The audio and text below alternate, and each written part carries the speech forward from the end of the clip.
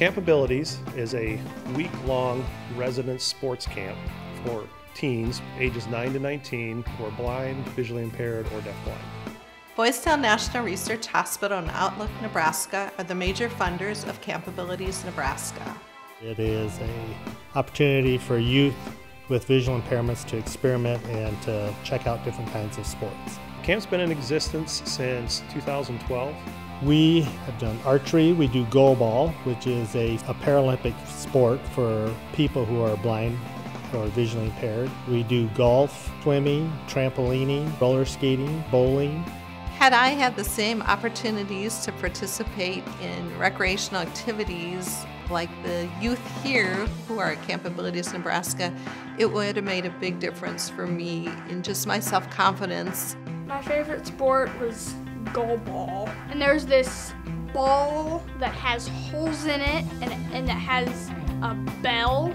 You, you listen and you try to block it and try to throw it to the uh, opposing team. And if it goes past the goal line, it's a goal. Whoever gets the most goals wins.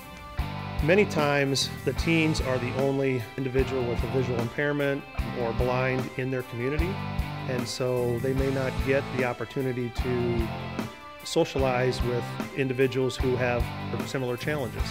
If I was with like my friends from school, they would like leave me behind or something, but when I'm with my non-sighted friends, they would like I could just be me because they understand. Every activity that we teach they're going to establish a certain skill level, and depending on their, their comfort level, they would be able to do those activities away from camp. For example, roller skating is one that we've done in the past, um, and I know that several of our campers have gone and roller skated during regular roller skating times. My absolute favorite part is probably meeting all the counselors and um, tandem biking. I feel like they're all family, so it's kind of like going back home in a way. Camp Abilities is a program that needs to continue to grow.